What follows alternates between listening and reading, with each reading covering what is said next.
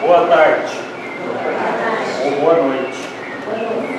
Aqueles que estão no horário de verão, boa noite. Aqueles que estão no horário antigo, boa tarde. Muito bem. Essa semana é, eu havia tomado de propósito, é sempre que fosse preparar um tema para nós outros, porque esses temas são principalmente para nós mesmos, né, os palestrantes, seria um tema evangélico. Inclusive, eu já havia até separado temas impresso, né, aquele tema, as suas questões, etc. Mas aí no decorrer dessa semana aconteceram dois fatos em que é, eu falei, eu vou ter que mudar esse tema.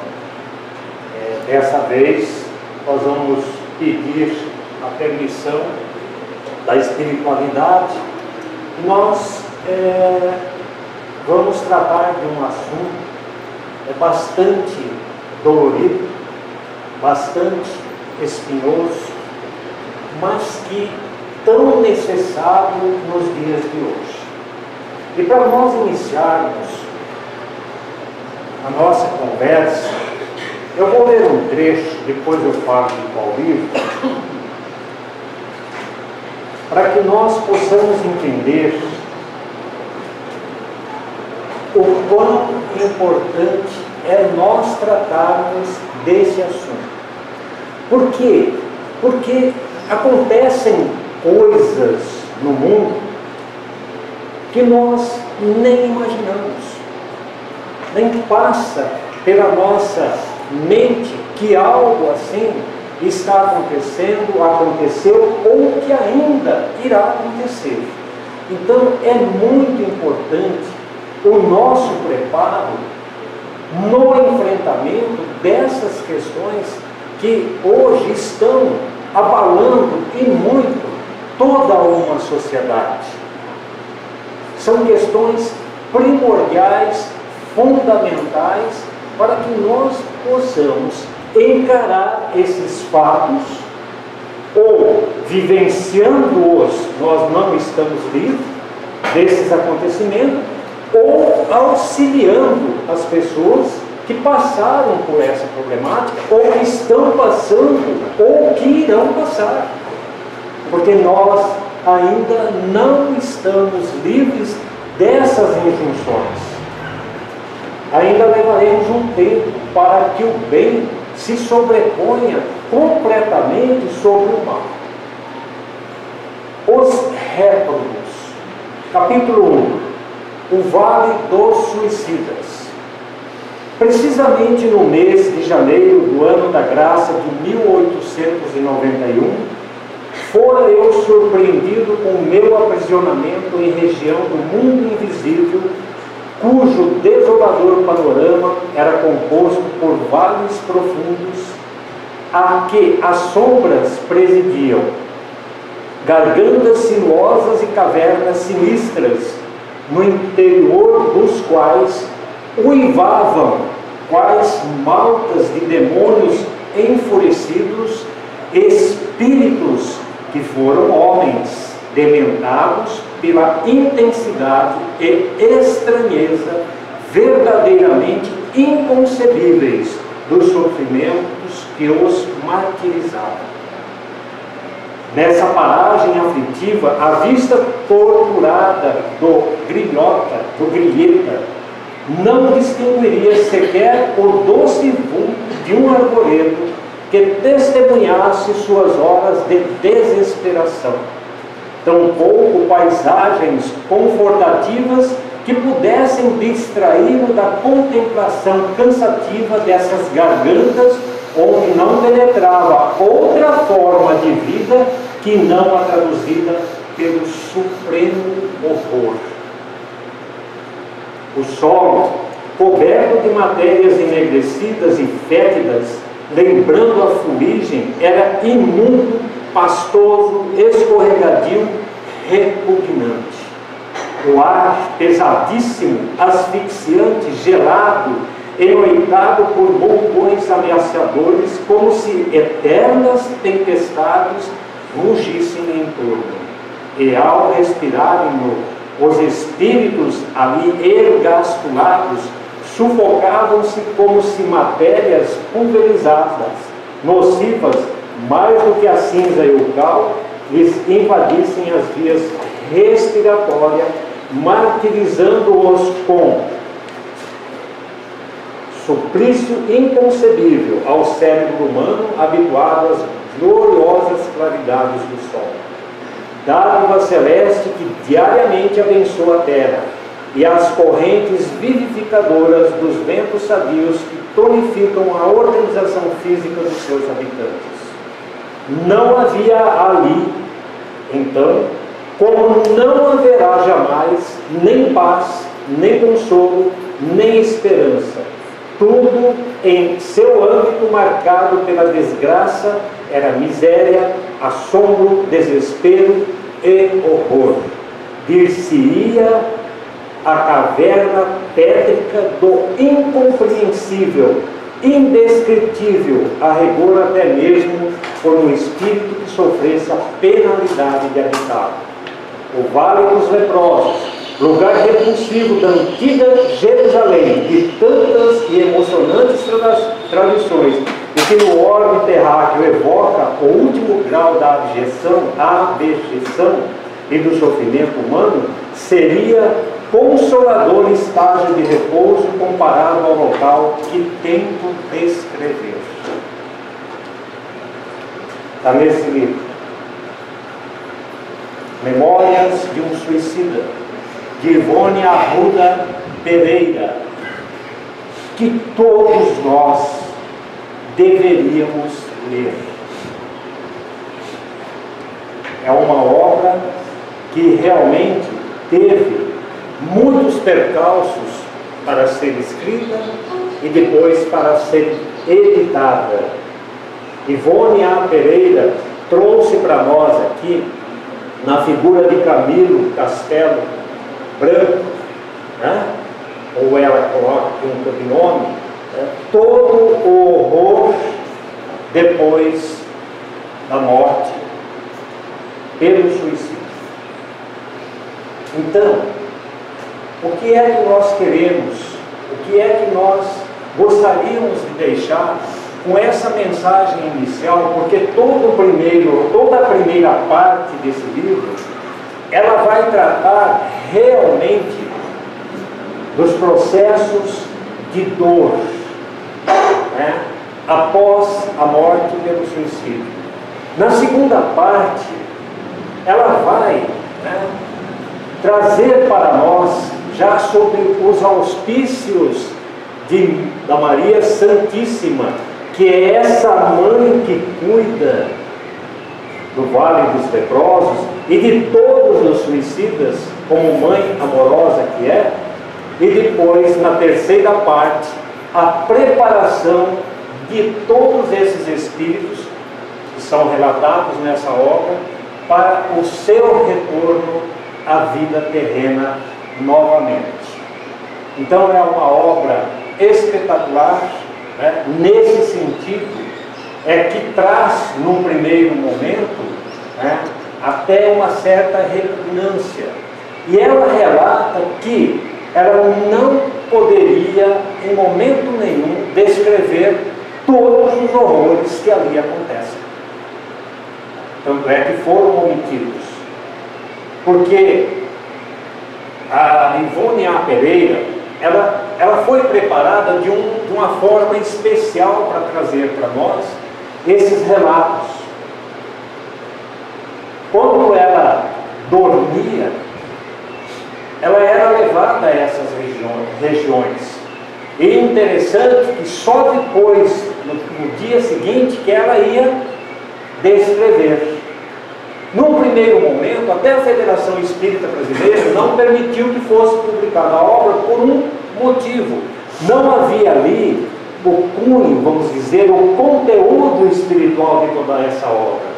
E aí então ela, te, ela teve o apoio, nada mais, nada menos, do que Leon Denis, que durante 20 anos a acompanhou nesse processo da escrita dessa obra. Tanto é que ela não é psicografia.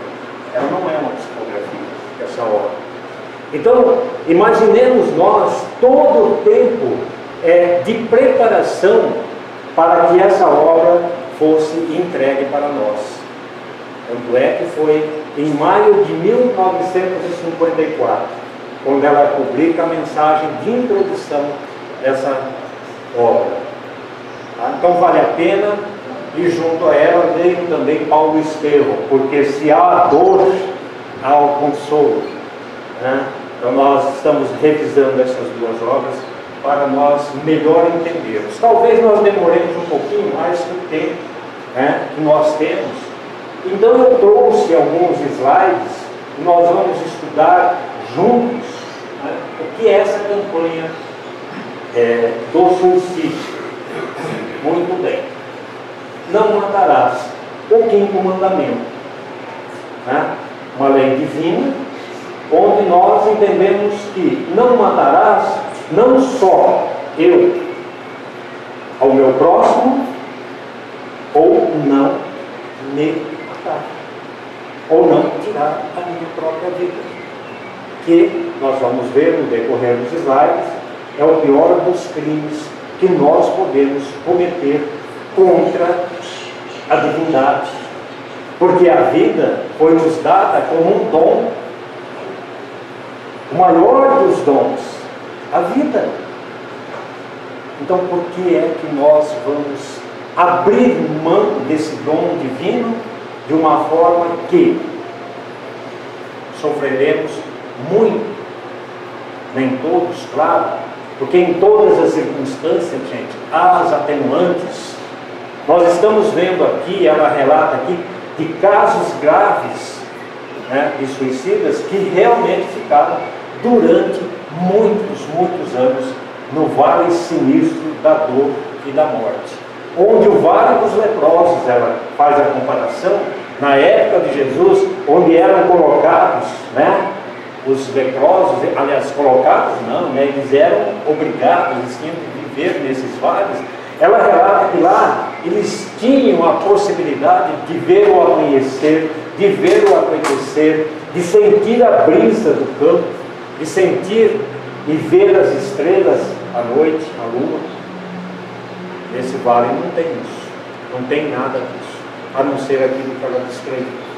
Muito bem. Uma questão do livro Consolador, ele diz assim, a 146, é fatal o instante da morte, com exceção do suicídio, todos os casos de, de desencarnação são determinados previamente pelas forças espirituais que orientam a atividade do homem sobre a terra. Olha só. Então nós temos o nosso momento próprio. Nós temos a nossa hora certa. Não sabemos. Pode ser daqui meia hora, pode ser daqui uma hora, pode ser daqui dois dias, uma semana, um ano, dez anos, quinze anos. Nós não sabemos, mas nós temos o nosso momento. E mais uma coisa, o suicídio ele não é simplesmente você também tirar a sua própria vida, mas também causa o suicídio os nossos desequilíbrios, tanto na questão da alimentação, tanto na questão dos nossos pensamentos, em todas as outras situações que causam o nosso desequilíbrio e que abreviam a vida desse instrumento de manifestação e progresso. Então, se eu vou ao médico e o médico me dá a receitinha e eu tomo uma receitinha apenas pela metade, achando que eu estou certo, o que é que eu estou fazendo? Se eu vou no nutricionista e ela me passa uma receita que eu devo me alimentar de determinada forma, eu faço diferente, ou não faço ou faço pela metade, eu estou me prejudicando também porque afinal eles estão preparados para nos orientar. E em diversas, a irritabilidade né, comum a nós outros, isso prejudica a minha saúde, Tanto é que André Luiz, no livro Nosso Lar, ele foi considerado, ele era chamado lá pelos, pelos espíritos que o encontraram de suicida, suicida, suicida, suicida, em função do quê? Do beber socialmente. Da bebida, do álcool, das drogas e tudo mais. Então isso encurta esse processo, porque nós temos hora, dia e momento marcado. Estou errado, Roberto? Está lá na nossa ficha. Eu tentei ver a minha ficha lá, mas não consegui, não deixaram ver essa data. Mas tem espíritos que sabem, sabiam, como Eurípides Barçamão era um dos espíritos que tinha tamanha magnitude espiritual que ele sabia, dia, hora e mês, que ele ia desencarnar. E desencarnou naquele dia, naquela hora e naquele mês, cumprindo totalmente a sua missão. 33 anos. 38. Muito bem. Sigamos. Jamais tem o homem o direito de dispor da sua vida, porquanto só a Deus cabe retirá-lo do cativeiro da terra, quando o julgue oportuno. Afinal, nós estamos aqui fazendo o quê? Está falando. Porquanto só Deus cabe retirá-lo do cativeiro da terra. Vamos entender que esse cativeiro é a nossa sala de aula para o nosso aperfeiçoamento.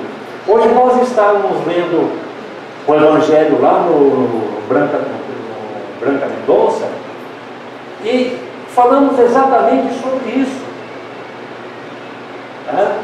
É, o nosso mundo, claro, ele está saindo desse provas e expiações para a regeneração, mas ele é a nossa grande sala de aula nesse momento. E é aqui que nós estamos recebendo as lições necessárias, comum a todos nós, a todos nós. Se nós observarmos os fundos principais das nossas lições, nós vamos observar que são muito parecidos. Bastante amplo, mas parecidos. Né? Então, é as lições que nós devemos aprender no atual estágio, na escola que nós nos encontramos. No livro Cartas de uma Morta, da mãe do Chico Xavier, ela, ela relata que tem determinados mundos em que são, é, ali há grupos que estudam muito sobre a matemática, sobre a ciência, sobre cálculos, preparando-se para quê? Para virem né, em determinados mundos onde haja necessidade do aprendizado dessas lições. Então vejam só, então nós estamos realmente no local, né, para nós, provas e expiações, ainda é um cativeiro. Quem né, não gostaria de estar morando hoje num mundo muito melhor, muito mais avançado espiritualmente falando, do que o nosso planeta Terra? Mas o nosso planeta Terra é lindo. Olhem só, o entardecer, o amanhecer, a primavera, o verão, o outono, o inverno, né? o, o, o, o nosso convívio, o quanto nós aprendemos, o quanto eu aprendo com aqueles que falam das suas problemáticas ou das suas alegrias, o quanto eu posso ajudar aqueles com os quais eu converso com as minhas problemáticas e com as minhas alegrias. É uma imensa sala de aula, é um imenso educandário onde todos nós estamos aprendendo, aprendendo. O suicida, ó, o suicida é igual o prisioneiro que se evade da prisão antes de cumprir a pena. Quando preso de novo, é mais severamente tratado. As nossas leis não tratam dessa forma? Se eu sou prisioneiro, eu fujo da prisão e eu sou recapturado, o que acontece com a minha pena? Normalmente ela aumenta ela vai aumentar porque eu cometi um outro delito. Eu cometi um outro crime. E muito pior se eu me evadir dessa prisão e realmente cometer outros crimes lá fora. Então será acrescentado a minha dívida, a minha pena, né? mais alguns anos de aprisionamento. O mesmo se dá com suicida, que julga escapar as misérias do presente e mergulha em desgraças maiores. Mas enfim, o que nós precisamos realmente, é muito importante nesse momento, seja o prisioneiro que evadiu-se da cadeia, seja o homem que fugiu das suas responsabilidades terrenas, é ajudá-los. Ajudá-los. Agora, ao final da tarde, eu estava vendo uma pequena reportagem. Aqui em Campo Grande tem um rapaz que trabalha ali, não sei se é na Barão do Rio Branco, vendendo meias e ele está com uma tornozeleira eletrônica. E ele já se tornou conhecido na cidade. E ele dá os testemunhos, e ele fala com as pessoas. As pessoas perguntam como que é. Falou, graças a Deus eu não estou mais lá. Eu estou tentando me recompor. Eu quero a presença do meu filho, que eu perdi durante esses anos que eu fiquei aprisionado. Então vejam só, da mesma forma também Aquele que está no vale do suicida, ou no vale da dor e do sofrimento, ele também, apesar da tornozeleira ou da marca, ele pode se recuperar e vai se recuperar. Quando a gente lê toda a obra, nós vamos entender perfeitamente o mecanismo da bondade divina, dando novas oportunidades a esses espíritos que cometeram, muitas vezes, por pura ignorância, esse ato tão supremo né, e tão doloroso. Porque não é só ele que sofre, os que ficaram também sofrem. Mas podemos sim atenuar tudo isso com um simples ato de oração. Ivone A. Pereira, ela simplesmente, todos os dias, ela orava para esses espíritos ela sempre pegava os obituários e verificava né, os casos de suicídios, porque eram os obituários nos jornais, e ela pegava o nome daquelas pessoas e todos os dias fazia oração para aquelas pessoas. Então ela foi realmente adredemente preparada para esse trabalho.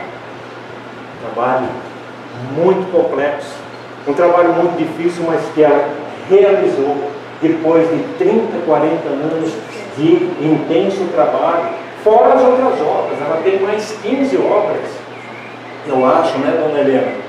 Que nós temos todas elas em casa, mas eu não li todas, poucas. Nas Celas do Infinito, Amor e Ódio, a tragédia de Santa Maria, nas voragens do pecado, ressurreição e vida, dramas da obsessão e tantas outras obras, 15 né? Ela viveu 83 anos, ela desencarnou, ela nasceu em 1900, desencarnou em março de 1984, com 83 anos. Né? Um trabalho intenso né? em todas as outras situações, ajudando. Né? Muito bem. De todos os desvios da vida humana, o suicídio é talvez o maior deles de todos os desvios da vida humana, o suicídio talvez é o maior deles, pela sua característica de falso egoísmo. É isso. Não vou me estender muito em cada item, porque senão o nosso tempo vai. Da negação absoluta da lei do amor e da suprema rebeldia à vontade de Deus, né? cuja justiça nunca se fez sentir junto do homem sem a luz da misericórdia. É o que Ele mais tem para conosco: misericórdia. E há relatos, e há dados, e há informações que normalmente, quando a pessoa, no ato do suicídio, o seu processo de dor e sofrimento estava praticamente no fim. Tá? Então, são situações como essas e que nos remete ao papel de quê? De ajudar, de auxiliar. Quando nós ouvirmos, quando nós tivermos notícia e que nós pudermos ajudar diretamente ou indiretamente, façamos as nossas preces, façamos as nossas orações, né? porque necessário se faz essa, esse amenizar da dor e do sofrimento que passa né, pela mente dessas criaturas. Considerado pela Organização Mundial de Saúde como uma das prioridades globais da saúde pública, né, nós temos um suicídio a cada 30 segundos no mundo. Tá? A cada 30 segundos nós temos um suicídio. 24 mortes diárias no Brasil. Do total de suicídios, 79,3% foram de homens. O número de casos cresceu 60% nos últimos 45 anos. Né? Então, tem todos esses dados também, tem muitos mais dados, talvez até mais atualizados, que reforçam o trabalho, não só nosso, mas também, claro, dos nossos governantes, né? no atendimento. Isso é uma, uma, uma tragédia muito grande é algo que atinge né, e marca profundamente a sociedade. A nossa cidade de Campo Grande ela tem um índice muito alto de suicídio. E nós estamos observando hoje, através das notícias, dos dados, das informações, das estatísticas, que principalmente jovens, muito jovens, estão cometendo suicídio. Agora imaginemos nós. Né? Na minha ficha lá eu consegui ver, eu consegui ver né, que a minha, a minha carga né, de fluidos vitais vai até os 99 anos. Imagina, né gente? Olha que coisa linda, né? Vocês vão ter que me aguentar até lá. Né? Mas eu devo gasto uma boa parte dessa né? em algo que não, não é, encurtou. Né? Então nós precisamos tomar determinados cuidados e ajudar. E nos cuidar. Atenção a pessoas que tentaram, atenção às pessoas que tentaram suicídio. Assistência prestada a pessoas que tentaram suicídio é uma estratégia fundamental na prevenção do suicídio. E hoje nós temos os recursos espirituais, mas temos também os recursos da medicina ajudando-nos muito, muito nessa questão. Tá? Porque nunca um deve estar separado do outro. Porque nem tudo é obsessão que leva ao suicídio. De forma nenhuma, nós vamos ver. Tem outras causas, outras situações. Tá? Falta da religião, de repente, fundamentado né, nos preceitos crísticos Será que também não pode ser isso? Nas escolas hoje nós estamos vendo ensino religioso. Então tudo tem que ser repensado. Nada de crítica, nada de, de querer mudar o mundo nessas, nessas circunstâncias, mas tudo isso né, nós precisamos. Nós precisamos dessa ligação com o Criador. Nós nos afastamos, temos nos afastado cada vez mais e principalmente os jovens, principalmente. Que dificuldade, gente, quando nós vamos fazer o culto do Evangelho no lar, no nosso lar, né, e em muitos lares, é trazer o jovem para a participação. Tá?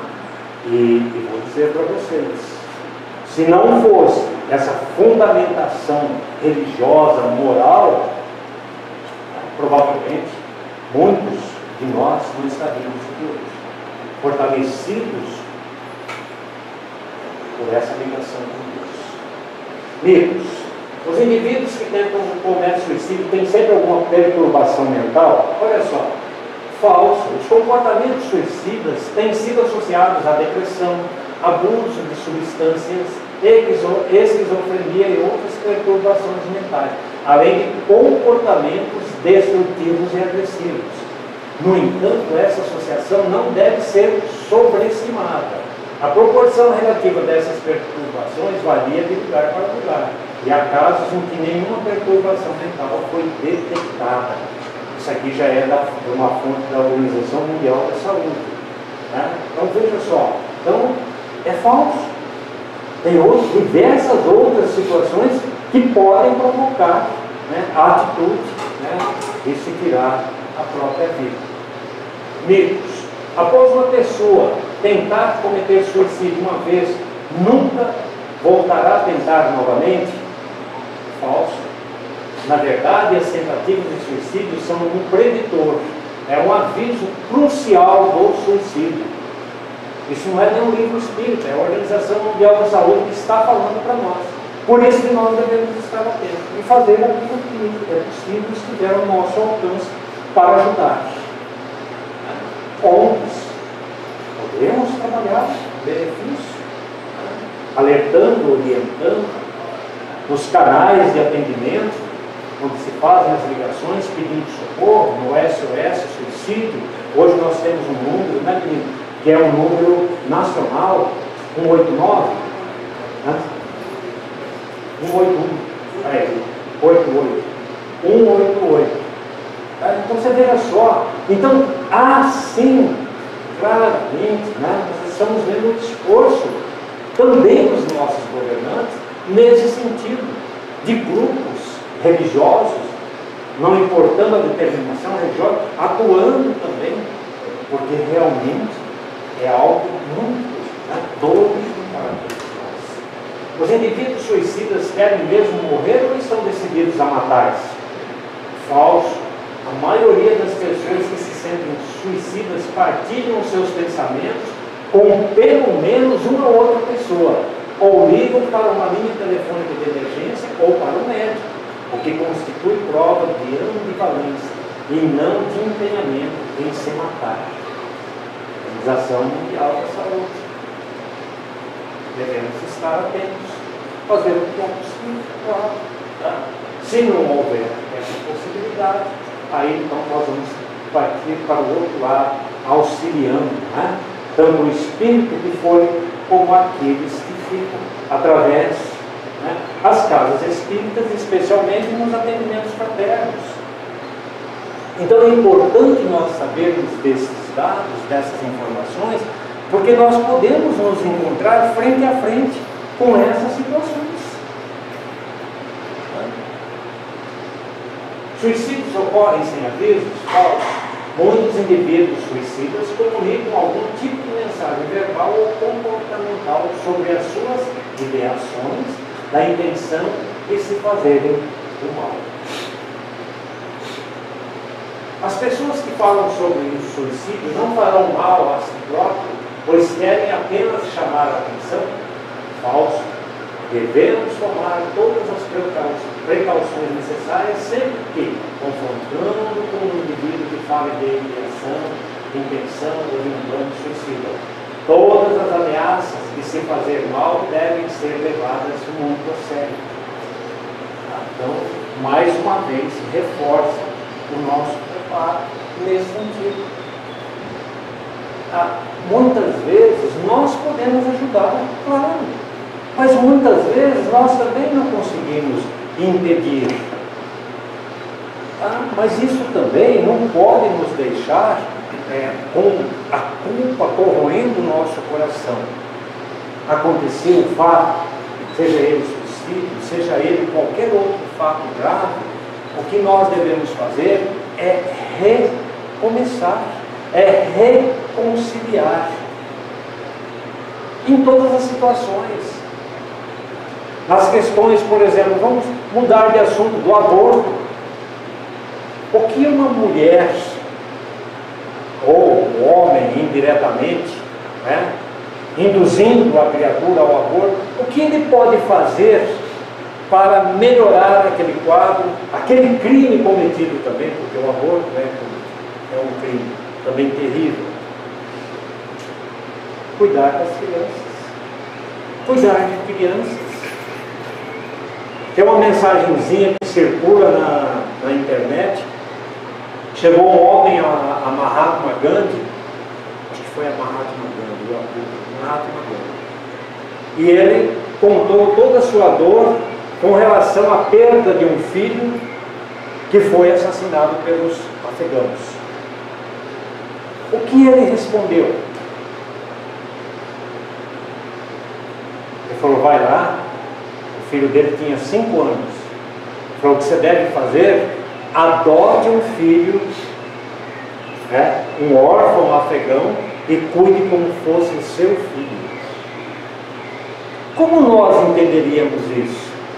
Quão difícil seria né, fazer e tomar uma atitude dessa? Muito difícil, mas foi o que ele orientou. O que nós podemos fazer para ajudar, se isso ocorreu na nossa vida, por A mais B, ajudar o nosso próximo.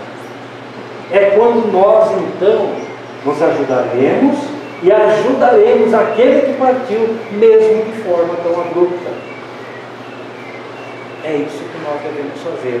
Aí vem aquela faixa né, luminosa, estendida pela espiritualidade, que diz que fora da caridade não existe salvação. E o que é a caridade? Para aqueles que partiram, é nós trabalharmos intensamente em benefício do nosso próximo, e muitas vezes esse nosso próximo é aquele que cometeu o crime contra um filho nosso, um parente nosso, um amigo nosso. Nós temos muito, muitos casos desses, gente, que acontecem. Que acontecem. A melhor após a crise significa que o risco passou? Falso.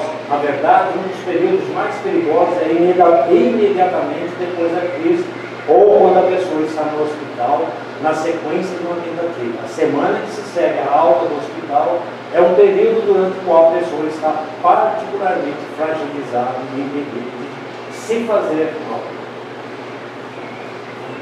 Informações. Ah, então, o comportamento do suicida, normalmente, né, quando ele nos comunica de um jeito ou de outro, de uma forma ou de outra, é um grito de dor, é um pedido de ajuda. É um grito de dor, é um pedido de ajuda. E nós devemos acudir. Uma vez eu contei uma historinha aqui, tá? muito curtinha, dizia o seguinte, trabalhador espírita, trabalhador espírita, tinha acabado de chegar de um trabalho assistencial, está num, num, dos livrinhos é, é, Bem-aventurados e Simples. Um livro bem simples também. E ele chegando no trabalho assistencial da casa espírita, ele subiu as escadarias do seu prédio e ele viu a porta entreaberta de uma pessoa conhecida né, e veio naquele instante parar né, e adentrar. Mas não, pensou, estou cansado, acabei de chegar do trabalho assistencial e subiu para o seu apartamento e deitou-se e dormiu. Quando ele acordou, ele ouviu né, a, o alarme, a, a sirene de ambulâncias bem próximo à sua casa. Quando ele foi observar, era aquela pessoa daquele apartamento que tinha se suicidado. Então, são situações, é, historinhas que simbolizam né, a nossa atenção para com essas situações. As características importantes é a univalência, a impulsividade, né, a rigidez do tudo ou nada. As frases de alerta, olha, isso é muito importante para nós, muito importante. Eu preferiria, eu preferiria estar morto. Eu não posso fazer nada eu não aguento mais. Eu sou um perdedor e um peso para os outros.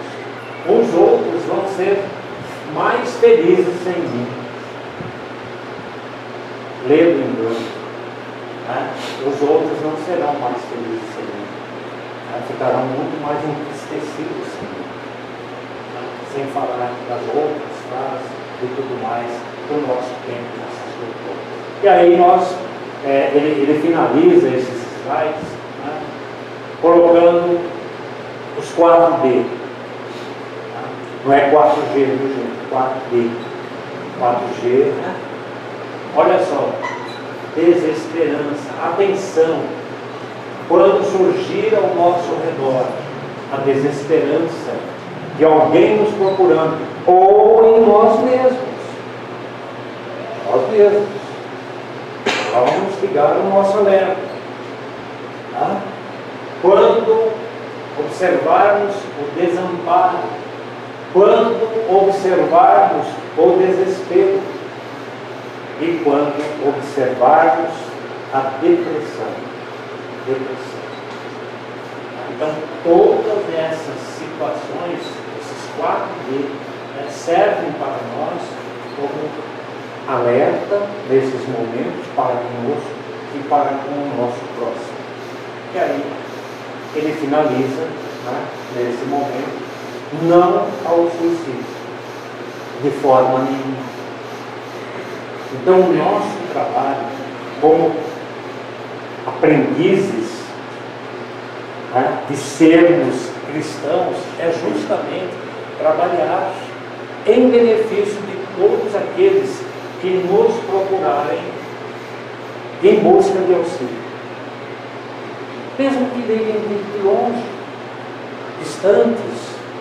E para finalizar, só para a gente finalizar, e um dos motivos que fez com que eu mudasse o tema é, foi que esses dias, também um dos, né? Mas teve. No domingo eu abri o computador é, para começar a preparar as mensagens que eu faço postagem diariamente num grupo Fonte de Luz Reflexão e tinha uma mensagem no WhatsApp. E eu vi que o, o DDD não era daqui. E aí a senhora se identificou, tá? vou falar o nome dela porque é uma pessoa, é um nome muito bonito que eu achei, Esmeralda. Tá? E ela pedindo ajuda, pedindo ajuda né? para um filho que estava envolvido na drogação. Eu falei, mas como que eu vou ajudar? E ela falou que ela já havia morado aqui em Campo Grande e que foi uma outra pessoa, que também é desse grupo, que indicou e deu o meu telefone. Então nós conversamos pelo WhatsApp, falei, como que eu posso ajudar? Eu falei, eu, eu posso fazer? Eu falei, olha, você me passa o nome do rapaz, você me passa o teu nome, e eu vou colocar no nosso livro de vibrações. Né? Aí ela, eu perguntei, onde você mora? Eu moro no Guarujá. De quem que eu lembrei? Jônia, Rita, na Rita, do Décio. Na hora, na hora, veio a intuição, o Décio. O Décio morou em Santos. O Décio conhece. Ele frequentou um dos fundadores do Centro Espírita lá de Santos. Eu falei, agora falar com o Décio? Né? Falei, não, eu vou ligar para ele, apesar de ser domingo, né? Peguei, liguei para o ele me atendeu prontamente, expliquei ele passou o nome do centro espírita, ele me passou o endereço do centro espírita e ele passou o nome dos dois médicos que poderiam atender ela no centro espírita, lá em Santos. E Guarujá e Santos é só atravessar né, aquele trechinho, aquele canal. Né? Então vejam só, isso é o que? Intuição, ajuda da espiritualidade. Como que uma pessoa lá do Guarujá, né? talvez saiba alguma coisa do nosso pequeno trabalho que realizamos aqui, podemos ajudar. Então, todas essas circunstâncias, todas essas situações servem para nós como alerta. Os jovenzinhos ajudando seus jovenzinhos, seus amigos. Quando ouvir falar, avisa a mãe, avisa o pai, e aí poderá haver o auxílio no sentido de evitar um mal maior. E assim, gente, finalizando, nós agradecemos. Eu sei que o tema ele é espinhoso, mas é necessário, é importante e que nós possamos contar sempre com a ajuda da espiritualidade amiga, mas principalmente do nosso Mestre Jesus e principalmente da nossa Mãe Maria Santíssima, que acorde todos esses que por vias tortuosas chegaram à espiritualidade de forma tão dolorida, mas é sob a sua égide que conta-nos a história da mesma obra, né? o, é, o Hospital Maria de Nazaré, que acode e acudiu todos esses nossos personagens né? no auxílio à sua regeneração para futuras reencarnações na quitação dos seus débitos frente à vida, a dádiva divina que Deus nos concede para o nosso progresso, para construirmos em nós o amor, o amor incondicional. Obrigado. Uma boa noite a todos.